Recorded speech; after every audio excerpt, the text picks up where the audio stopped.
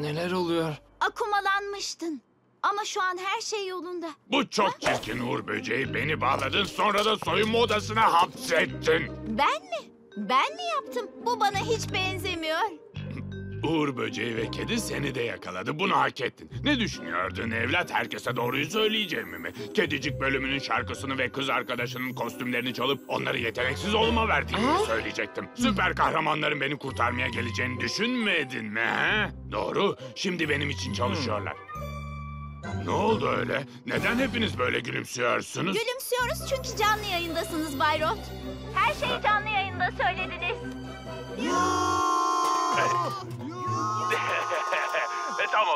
Hepsi sadece büyük bir şakaydı. Aslında Kedicik bölümü grubunu seviyorum. Aslında onları o kadar seviyorum ki ilk kayıt anlaşmalarını imza atmak üzereydim.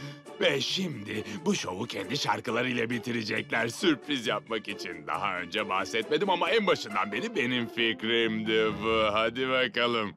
Genelde iyi adamları kötü şeylerden kurtarırız ama bunun hakkında şüphelerim var. Akumalanmadığından emin misin? Hayır o her zamanki gibi. Ah, Gitmeliyim. Dönüşmek üzereyim. Sonra görüşürüz kediciğim. Ay, Bana böyle deyince ona bayılıyorum.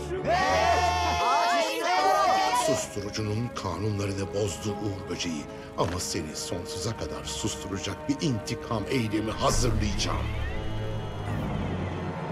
Ve şimdi kasabadaki en büyük olaya hepiniz hoş geldiniz. Kedicik bölümü. Aa Luka. Akumalandıktan sonra bana söylediğin şeyler doğru muydu? Affedersin Merinet ama hatırlamıyorum. Ne dedim? Hiçbir şey. e, hiçbir şey değildi. Hakmut'un akumaları seni ele geçirdi. Ne söylediğimi hatırlamıyorum.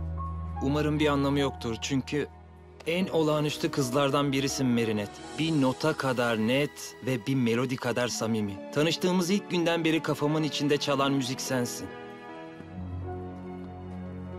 Bu aşk ilanıydı. Doğru mu Tiki? Şimdiye kadar duyduğum en güzellerinden biri.